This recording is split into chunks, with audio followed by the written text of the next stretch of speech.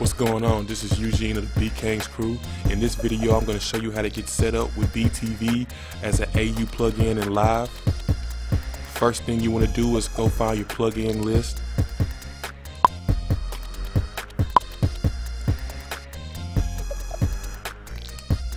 And you want to go into your AU folder.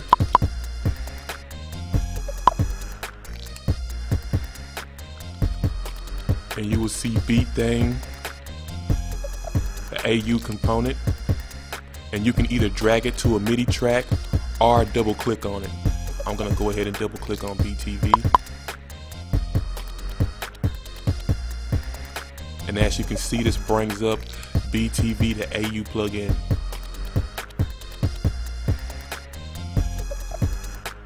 Once we have BTV in a MIDI track in live, we can set up eight multiple MIDI tracks in live that will correspond with the eight MIDI tracks inside BTV, making it multi-timbral. First thing you want to do is right click on the empty section of the mixer in live and select insert MIDI track. Now you want to go down to MIDI 2 and select BTV and in track in you want to select track 1 Now I'm to bring back up BTV. Select new. And on track 1, I'm to select the kit. Now I'm just to get out of it. Now when we arm the first MIDI track, we can now trigger it with our MIDI keyboard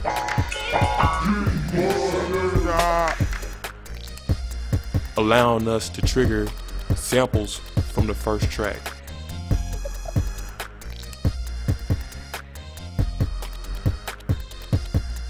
Now I'm going to show you some basic functionality by using BTV in live.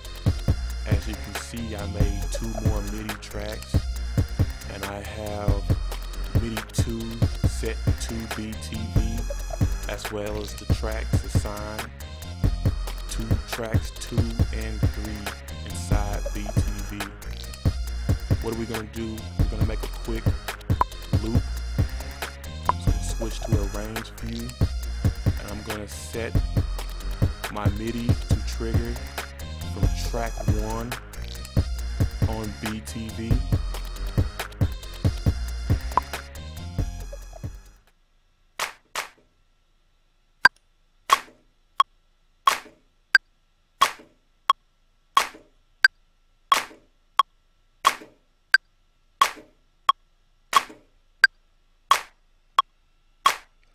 Now I'm gonna set my controller to trigger from track two on BTV.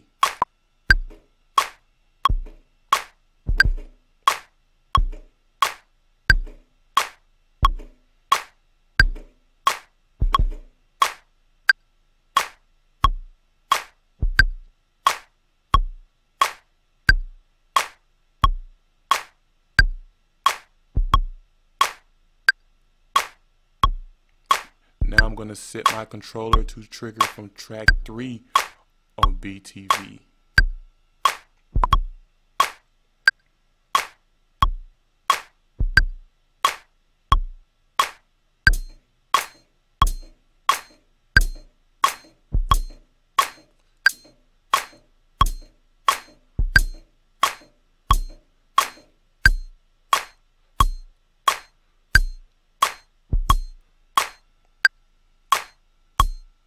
Go back to track two and catch the first note I missed.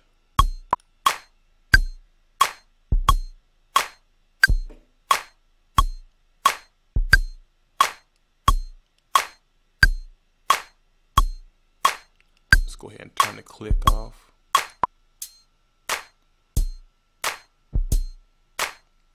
Now we're going to switch back to mixer view.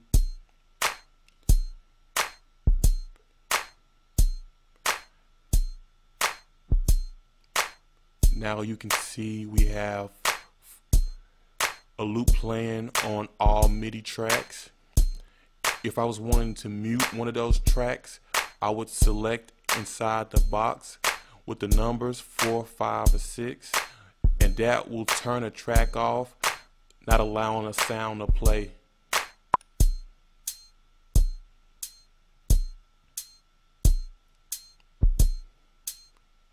Go ahead and turn that back on.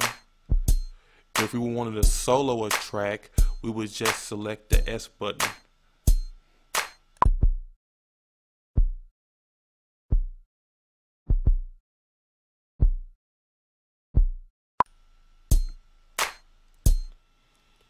Now we can look at some of the features of Live.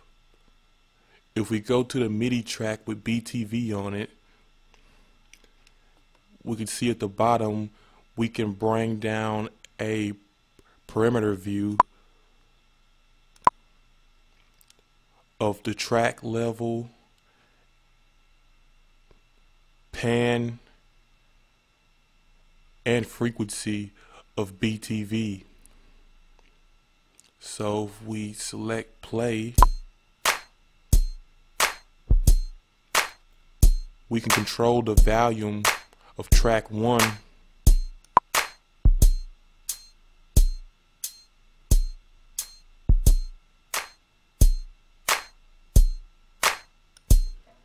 and the pan.